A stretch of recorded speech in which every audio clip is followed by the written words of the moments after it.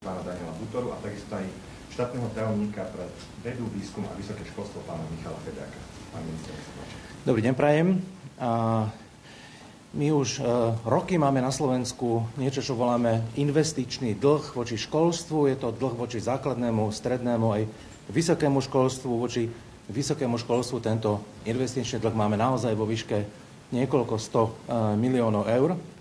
A preto mám veľkú radosť, že sme ako ministerstvo školstva včera vyhlásili výzvu na podporu strategického rozvoja vysokých škôl a zvyšovanie konkurencie schopnosti prostredníctvom spájania. Je to tzv. integračná výzva, ktorej cieľom bude vytváranie väčších celkov tzv. konzorcií. A uchádzať sa o túto výzvu budú môcť verejné vysoké školy a štátne vysoké školy. Termín je na neskôr do konca marca uzavretia projektu vytvoriť konzorcia do konca marca 2026. Celková výška, ktorá je určená pre, tieto, pre túto integráciu je 120 miliónov eur. Dáme to trošku do kontextu, že sme nedávno ohlasovali výzvu na rekonštrukcie do fyzickej infraštruktúry vo výške 53 miliónov eur. V tejto chvíli je tam 120 miliónov eur. Sú to prostriedky z fondu obnovy. A m, takáto výzva a výsledok takéto výzvy bude, že to umožní vytváranie spoločných študijných programov a poskytne to a, také väčšie možnosti pre študentov, možnosť absolvovať tie predmety z ponuky viacerých vysokých škôl podľa kapacitných možností, zdieľanie laboratórií, zdieľanie špecializovaných učební, zdieľanie vybavenia. A, a celkovo to teda rozšíri, by som povedal, ponuku a kvalitu a atraktivitu. Viete, že zápasíme na Slovensku s veľkou vecou, ktorá sa volá brain drain, teda odliv mozgov. Vláda si dala ako stratégiu uh, o nejakú korekciu tohto trendu, v ideálnom prípade zvrátenie. To je samozrejme komplexná vec, ale jednou z čiastočných vecí je kvalita vysokého školstva, aby nám tí najlepší študenti menej odchádzali do, do zahraničia. A, a v tejto chvíli toto je jeden z kľúčových nástrojov, ktorý tomu môže pomôcť spolu s ďalšími nástrojmi, ktoré sa tu uplatňujú. Ja na záver tohto krátkeho krátkeho predstavenia, skoro ako si zobrie slovo pán štátny tajomník, ešte poviem, že tuto, samozrejme, to sa nestalo za posledné dva mesiace. A nadvezujeme tu na prácu vlády od roku 2020, teda na, prácu predchádzajúcich vedení ministerstiev, ale som veľmi rád, že sme toto dotiahli až do, teda, do toho stavu, že, že sa nám podarilo túto výzvu vyhlásiť. Ďakujem pekne. Ďakujem pekne, pán Takže možno uh, zo pár detailov k tejto výzve. Ako povedal pán minister, uh, je alokovaných 120 miliónov na túto výzvu, ktorá sa pripravuje už dlhodobejšie.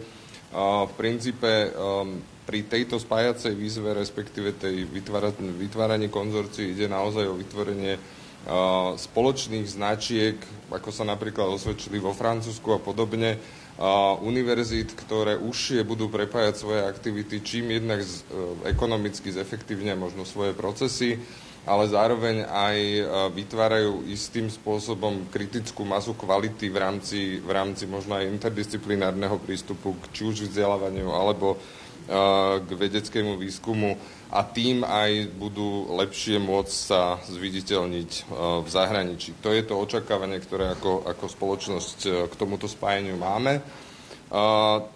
Tu ne, nezačíname úplne na zelenej lúke. My sme ešte v apríli mali vyhodnotenú, alebo teda vyhlásenú e, výzvu na projektové zámery vysokých škôl, kde teda sme aj informovali, že ide sú, existujú zámery piatich konzorcií alebo piatich projektov, ktoré sú vlastne z 11, z, zložené z 11 vysokých škôl, čiže pomerne veľká časť z tých 20 verejných vysokých škôl má záujem o nejakú, nejaký druh užšej integrácie. Samozrejme, tie zdroje, ktoré teraz máme, budú použité aj na rekonštrukcie. Z tých 120 miliónov sa ráta približne, že 8, 108 miliónov by malo byť práve na inštru- e, rekonštrukcie infraštruktúry použité, ktoré sa práve budú používať a využívať na tie spoločné aktivity tých konzorcií. A, zároveň je tam ešte 12 miliónov na tie ďalšie integračné aktivity na podporu práve tých uh, projektových manažerov, ktorí to budú, budú nejakým spôsobom koordinovať, spájať a prepájať, pretože naozaj prepájať ľudí na, na báze Eh, spoločného vytvorenia spoločného týmu, spoločných IT systémov a podobne je náročné.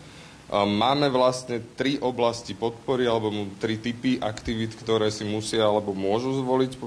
Máme, máme povinné aktivity, ktoré už spomenul aj pán minister. Je to harmonizácia vnútorného systému kvality, uskutočňovanie študijných programov spoločných, kde teda sa preferuje uskutočňovanie študijných programov práve v odboroch alebo interdisciplinárne s odbormi, ktoré boli vysoko kvalitatívne hodnotené v tzv. periodickom hodnotení vedy tvorivej činnosti. Ďalej sú to podpora otvorenosti ako keby vysokých škôl v rámci konzorcia, aby sa umožnilo aj absolvovanie prednášok alebo, alebo predmetov s študentom v rámci celého toho konzorcia, čiže nie len na, v rámci jedného študijného programu na jednej univerzite. Takisto združovanie výskumných kapacít, zdieľanie priestorov laboratórií a samozrejme používanie integrovaných knižničných publikačných IT systémov. To sú tzv. povinné aktivity, ktoré musia všetky tie, ktoré chcú získať financie konzorcia splniť. Okrem toho máme voliteľné, povinne voliteľné, z ktorých teda si môžu vybrať minimálne jednu. Je tam zamer- integrácia v oblasti internacionalizácie vysokoškolského prostredia, alebo v poradenstve a podpore študentov, alebo v podpore a poradenstve kariérneho rozvoja vysokoškolských učiteľov a výskumných pracovníkov. Tam si stačí vybrať jedno, ale samozrejme, čím viac tých aktivít si zvolí konzorcium, tým je predpoklad toho, že, že získa financie väčšie. Voliteľnými sú potom samozrejme obnova infraštruktúry a takisto, keďže sme aj v Košiciach, je pre nás dôležitá téma aj toho regionálneho zapojenia vysokých škôl a preto konzorciám dávame ako voliteľnú predmet činnosti aj podporu regionálnej, tej tretej misie vysokých škôl, čiže regionálnej spolupráce.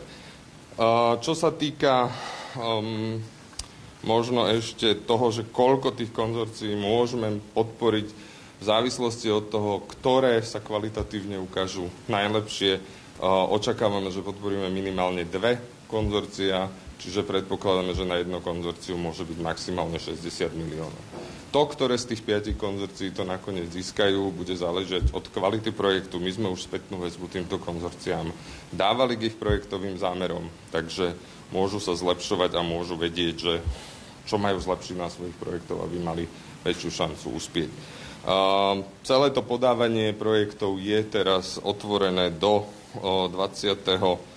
oktobra, čiže univerzity majú šancu kvalitne pripraviť svoje investičné aj spájacie projekty a zámery v priebehu najbližších troch mesiacov s tým, mesiacov s tým, že očakávame zázmluvnenie týchto projektov potom do konca roka. Ďakujem. Ja som ešte možno dodal, som hovoril o tom investičnom dlhu a je naozaj veľmi dobré, že e, Slovensko využíva ten plán obnovy presne na, na čiastočné, čiastočné splácanie tohto investičného dlhu.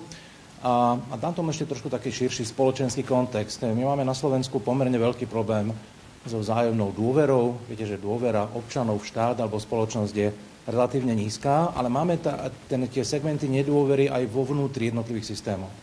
A jeden z tých eh, konspektov nedôvery, ktorému čelíme, je nedôvera vysokého školstva voči štátu, ale aj štátu a spoločnosti voči vysokým školám. Štát a spoločnosť často nevria vysokým školám, že to myslia vážne a vidíme to na tom úniku mladých ľudí, najtalentovanejších do zahraničia, minimálne do Českej republiky a do ďalších krajín.